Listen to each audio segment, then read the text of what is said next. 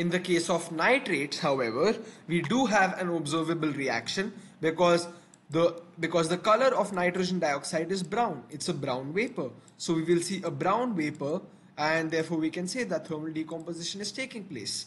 And uh, the other observation, uh, again, you will see, uh, this is white in color, magnesium, I mean the nitrate is white in color, the oxide is also white in color. So we can just measure the mass initially and finally and the difference in mass can tell us that yes, decomposition has taken place.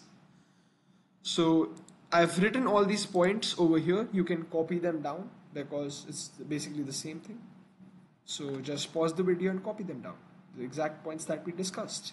So uh, uses of group 2 compounds. Now magnesium oxide is used in furnaces because of its high melting point. Why does it have a high melting point? Because you know that magnesium oxide is an ionic compound very strong ionic bonds throughout the lattice structure and therefore it's very uh, uh, that therefore a lot of energy is needed to break down these ionic bonds so it's suitable for furnaces calcium hydroxide which is also called slaked, slaked lime is sprayed on farms to neutralize acidic soil because you know that calcium hydroxide is basic in nature whereas um, uh, so, uh, so calcium hydroxide is basic in nature so it can easily neutralize acids by reacting with them Calcium carbonate is present in limestone and marble, so you can see it's uh, it's it's uh, we can build some buildings with it. The famous Taj Mahal in India is built by is built with marble completely. So uh, CaCO3 basically when you look at Taj Mahal, then limestone is roasted to make cal calcium oxide, which is also known as lime or quicklime.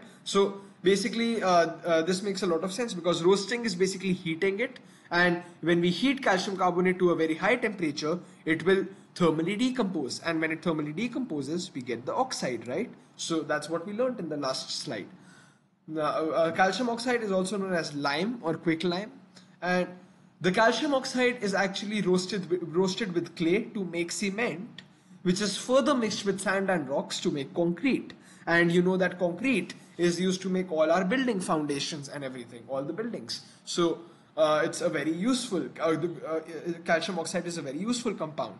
Now, you know that group 2, these are all the group 2 compounds that we need to know about, uh, that we need to know the uses for.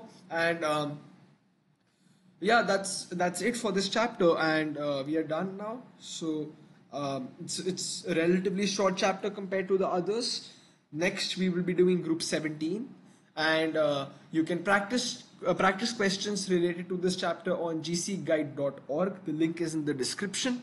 You can email me your doubts at a-level-chemistry-free at gmail.com.